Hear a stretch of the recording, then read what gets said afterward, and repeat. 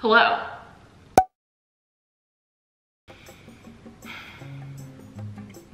It's been a very stressful week, to put it lightly. A really fucking stressful week.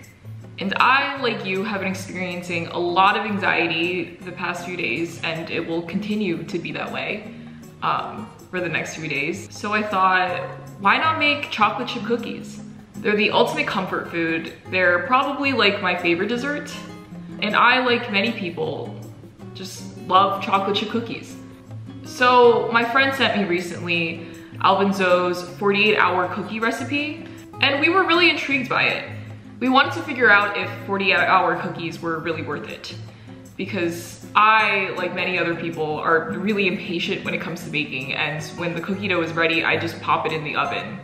Um, I don't think about chilling the dough or doing anything like that. So I thought, why not test 48 hour cookies with regular cookies? And I know a lot of videos like the original BuzzFeed video uh, test the two minute versus two hour versus two day cookie, but for me personally, I don't ever really make two minute cookies. Um, I'm not that impatient. So what I really just wanted to figure out is if the 48 hour cookie is really that much better than the regular cookie, like the regular two hour cookie that anybody would probably make. So what I'm gonna do today is I'm going to make Alvin Zhou's 48 hour cookie recipe, but what I'm gonna do is I'm gonna split half of it to cook immediately in the oven, just like a regular cookie recipe. And I'm gonna split the other half to put in the fridge to wait the allotted 48 hours and cook it at the end and see if there is actually a difference between 48 hour cookies and regular cookies. I've always kind of wanted to do these test videos. I thought they're really fun. Experiments in the kitchen are the best experiments, so yeah without further ado, let's get into it. And before I go any further, my name is Jess, if you've never seen me before. Please subscribe if you want to. If you're interested in just food videos by a mediocre and amateur chef, then go for it. All right, let's get into it. Okay, so I am about to brown butter for the very first time in my life in front of the camera, so that's more than a little stressful. Um, so I have a medium nonstick saucepan or pot over medium heat right now, and I'm gonna put two sticks of butter in it.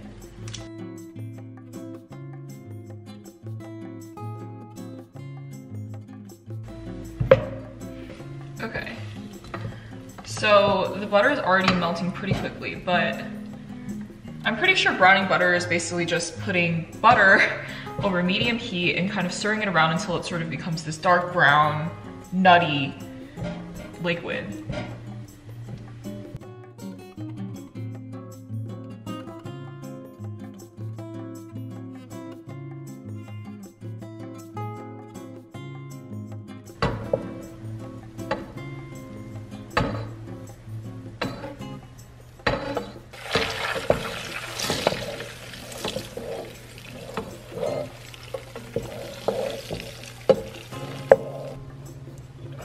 Here is the finished browned butter. It's really frothy, but you can see how it's like this dark brown sort of color. And now what I'm gonna do to sort of uh, return the water back to the butter um, is I'm gonna pop All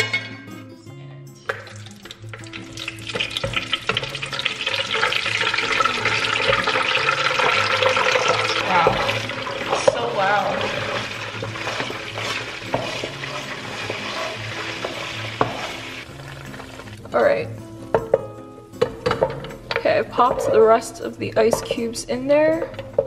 Should be four ice cubes in total.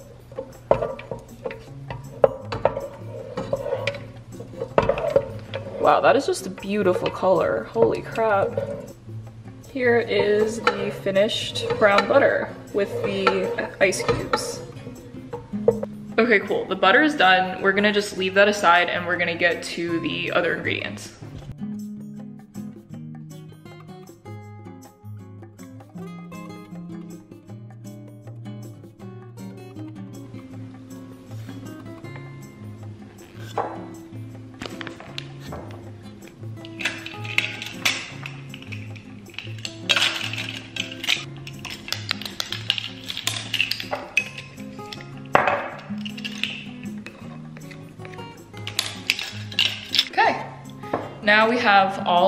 The dry ingredients here and I'm just gonna mix it around.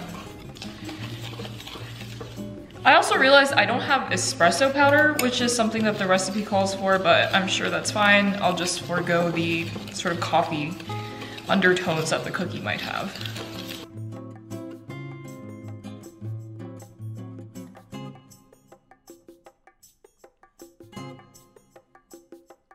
All right, now for the best part. We're gonna pour the browned butter into the sugar mixture.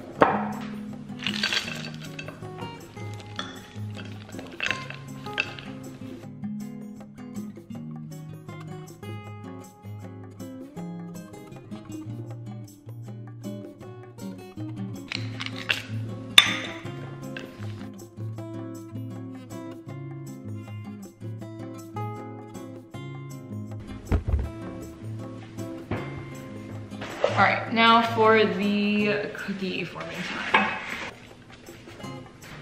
Okay, so I don't have a cookie scooper, so I am just gonna do a half cup.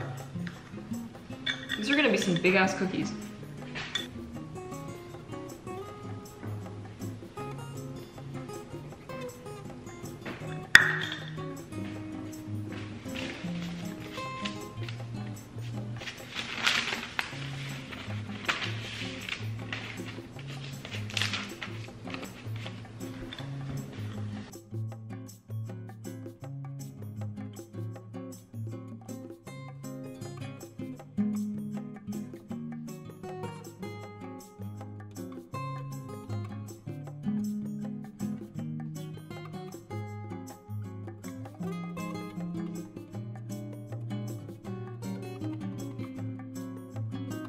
And here, we're gonna put the cookies that we're gonna save for 48 hours. So here you go.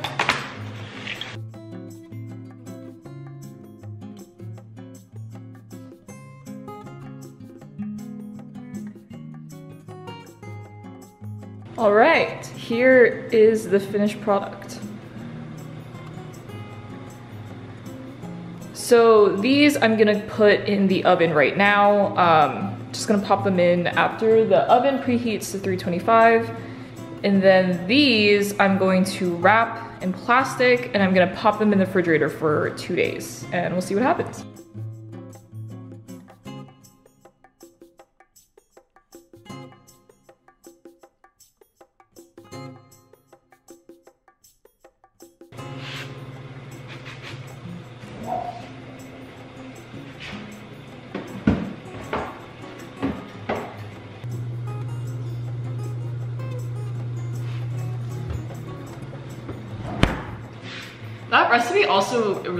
Exactly made nine cookies if you follow like doing a half cup scoop, which is a huge cookie. So I'm curious to see how these will turn out because I usually, you know, make cookies on the little smaller side, but I don't know, why not go crazy?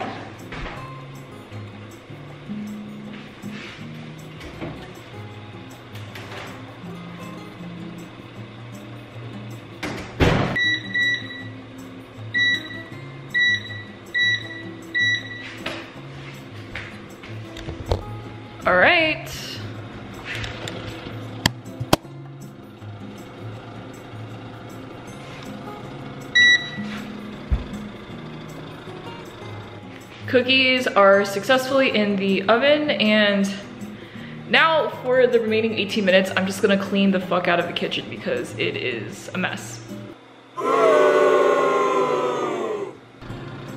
Oh my God, they're so big. And this is with four minutes left on the clock.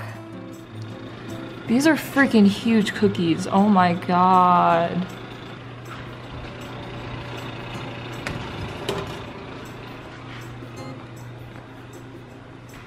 These are quite literally the biggest cookies I've ever seen. What the fuck? Okay, I'm just gonna let these cool down a little bit and we're gonna do the first taste test with just the regularly made cookies. Okay guys, this is taste test number one. We're gonna try out the regular cookie. Um, they're still fresh out of the oven. I let them sit out for like about 15 minutes just to let them cool down. Like, look at the size of this cookie. Oh my God. It's literally the size of my face. Um, thank you Alvin Zhou for just making like the, encouraging me to use half a cup of dough for each cookie. Like this is like freaking insane. It looks really good. Um, you can see that the edges are golden brown and it's still a little bit soft in the middle there. So yeah, we're just gonna give it a shot. This is the regular cookie um, with no 48 hour dough. Okay. Oh. It's not quite as chocolatey as I think it could have been. I could have added more and I also just didn't add the toffee, but honestly, it still looks like it has a good amount of chocolate in it. So let's see.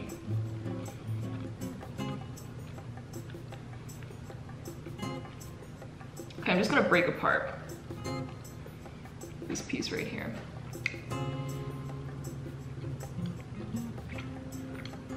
Mmm. Okay. That's a really fucking good cookie. Oh my god. Wow.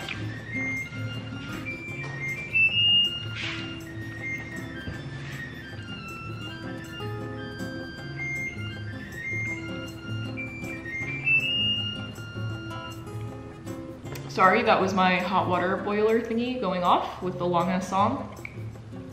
Like this cookie, oh my god. Okay, I'm gonna try a little bit. Chocolate. Mmm, they're like the perfect density, perfect texture, slightly chewy, crispy on the edge. Also the brown butter really makes a difference. I had never done brown butter before, but I think I have to now. It's just so good. Wow. This like really looks like a big bakery cookie. Like before I tried making those like Levain cookies, like the really famous New York bakery, they were really big, but like not even as big as these. Like, mmm. Chef's kiss. These cookies are amazing, 10 out of 10. So I'm really excited to see what, how the 48 hour one will compare because this is gonna be really hard to beat. This is a really good cookie. All right, I'm gonna put this away before I eat the entire thing because it's the size of my face. But yeah, I'll see you guys in two days to try the next batch. It's a restaurant cookie. All right, guys, two days later here they are. Ignore the really disgusting avocado in the background.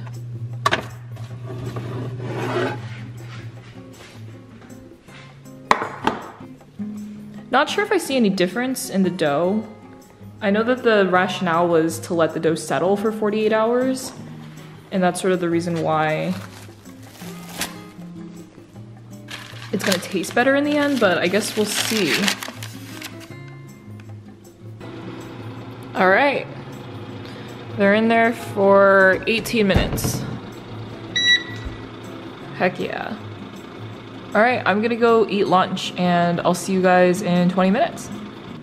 All right, cookies part two are out of the oven. They're looking beautiful. And we're just gonna wait for this to cool before we do the final taste test.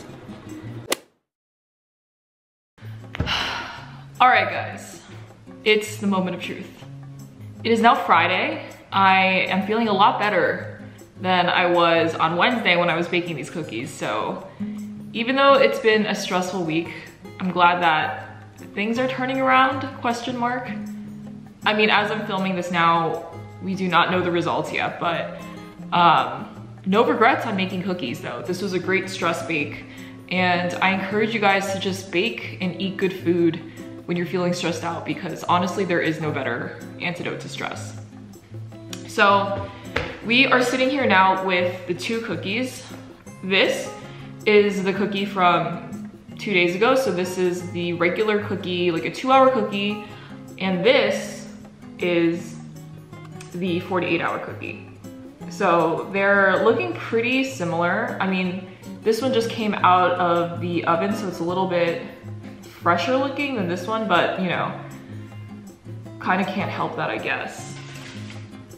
But yeah, basically the only different things that I did with this were that one of them just sat out for two days in the fridge. So basically, I just wanted the only dependent variable or the only variable that we're changing in the entire thing to be the time.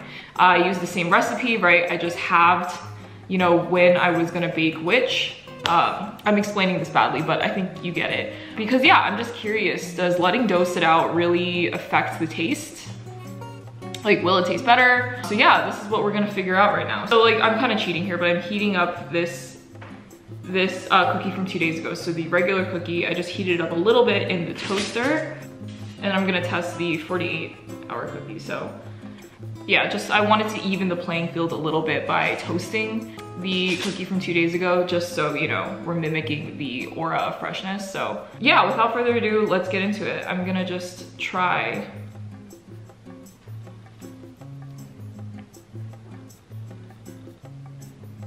Ooh.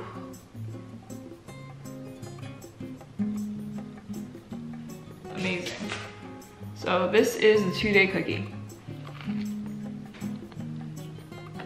Mmm. Yup.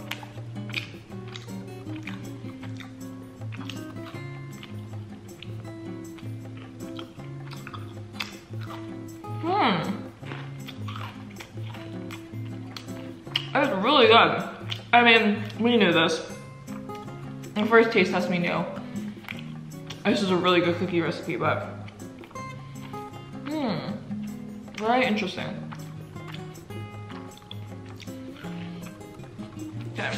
And now I'm trying the regular or the two hour cookie.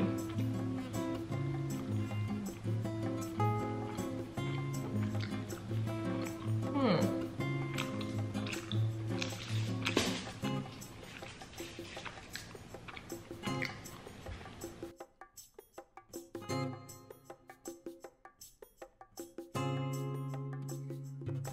Honestly, I can't taste much of a difference.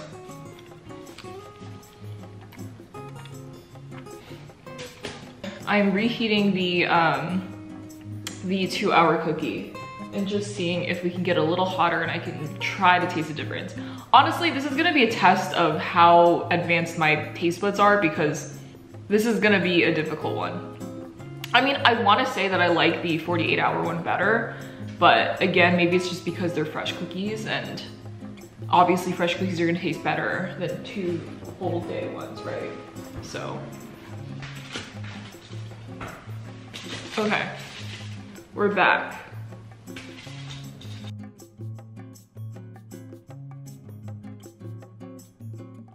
Here's what I think. I think that they're really quite similar, um, obviously because they're the same recipe.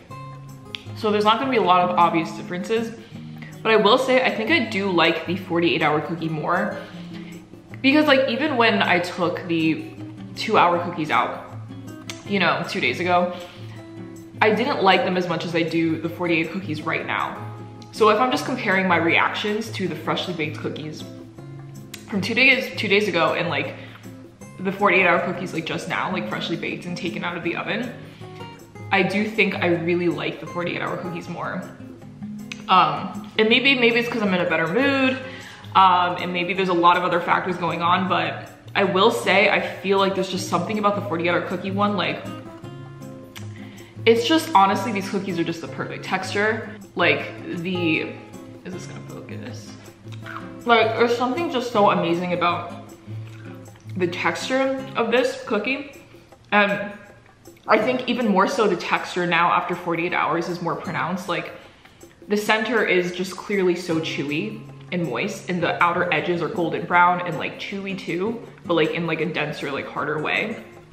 Like I do kind of agree that if you let the dough sit out a little bit, I think you can get more complexities in the texture and maybe even the taste. I mean, I think the taste is still quite similar because again, we're using the same recipe, but I do think there's something about this cookie that's a little bit more special than just like the regular like two hour cookie. Um, and I don't know, who knows, maybe like when the cookies both like cool down, there's gonna be some slight differences, but for now when I'm trying to compare sort of like a fresh cookie to like a reheated, still pretty fresh cookie from two days ago, I do think the 48 hour cookies went out. So I think the 40 hour cookie is the winner.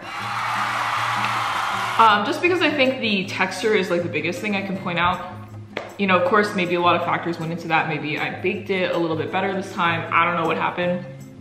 But yes, I think marginally, like very small margin, the 40 hour cookie is better, but I will say if you're impatient and you just wanna get those cookies in the oven, you wanna give your cookies out to your friends the next day, you don't have 48 hours to wait, I think you could just go, obviously regular cookies are great. And this recipe in particular, I think is great. Whether you're letting the cookies sit out or just popping them in the oven. So I would highly recommend just trying out Alvin Zhou's cookie recipe. Honestly, this is one of the better recipes that I've ever tried. And I've been on the hunt for a while now for a really good chocolate chip cookie recipe. So yeah, I would highly recommend trying this recipe. And don't be afraid if you don't have two days to wait, just pop them in.